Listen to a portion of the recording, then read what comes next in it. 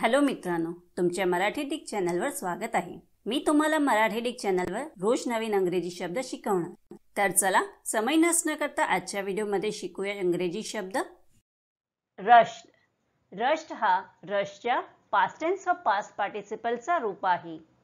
रशचा मराठी अर्थ जोराने येणे धाव घेणे त्वरेने येणे जायला लावणे अविचाराने व घाईने करणे एकदम धावून जाणे हल्ला करणे वेगाने वाहणे किंवा ओघळणे होत आहे. रशला आपण वाक्यात प्रयोग करून बघूया.